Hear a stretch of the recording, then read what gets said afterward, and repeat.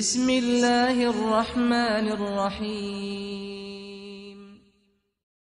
إذا وهبك الله مالا ولم تؤدي حقه فأنت من البخلاء. إذا وهبك الله صحة ولم تعن الضعفاء فأنت من البخلاء.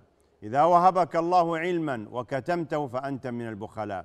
إذا وهبك الله أخلاقا حسنة وأسأت معاملة الناس فأنت من البخلاء. إذا ذكر نبيك صلى الله عليه وسلم ولم تصل عليه فأنت من البخلاء. وللبخل آفات كثيرة وسلبيات متعددة. فهو الطريق إلى كل منقصة يحمل صاحبه على منع حقوق الله وحقوق العباد فلا يؤديها.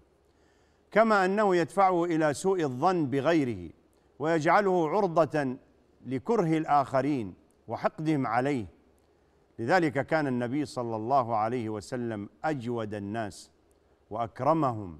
روى مسلم أن النبي صلى الله عليه وسلم أعطى يوم حنين الأقرع بن حابس وعيين بن حصن. أعطى كل واحد منهم مئة من الإبل.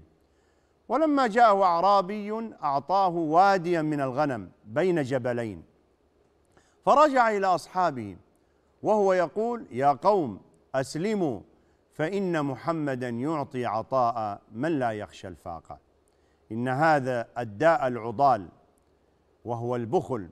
قد يتمكن من الإنسان حتى يصل به إلى درجة الشح التي هي أعلى درجات البخل والتي ذمها النبي صلى الله عليه وسلم وحذر منها في قوله اتقوا الشح فإن الشح أهلك من كان قبلكم.